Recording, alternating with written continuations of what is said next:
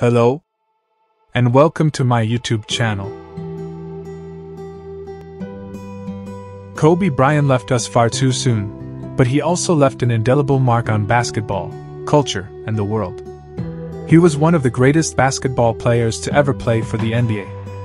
After winning five NBA championships, making the All Star team at least 18 times, earning MVP for all of the NBA in 2008, then becoming a two time NBA Finals MVP, along with many other accolades, Kobe is more than deserving of his place amongst only a rare handful of other legendary players. And considering his success in and passion towards basketball, I have highlighted the true mindset of a champion via these 10 Kobe Bryant quotes about hard work and success. Great things come from hard work and perseverance. No excuses. It's the one thing you can control.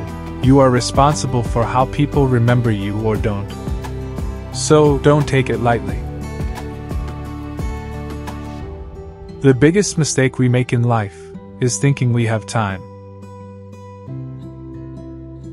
A lot of people say they want to be great, but they're not willing to make the sacrifices necessary to achieve greatness. Pain doesn't tell you when you ought to stop. Pain is the little voice in your head that tries to hold you back, because it knows if you continue you will change.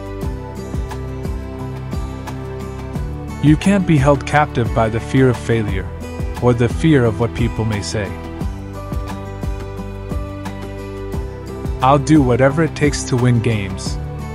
Whether it's sitting on a bench waving a towel, handing a cup of water to a teammate, or hitting the game winning shot. There's nothing truly to be afraid of when you think about it, because I've failed before, and I woke up the next morning, and I'm okay. No matter how difficult the challenge is, always stay positive and believe in yourself. Be willing to sacrifice anything, but compromise nothing in your quest to be your best.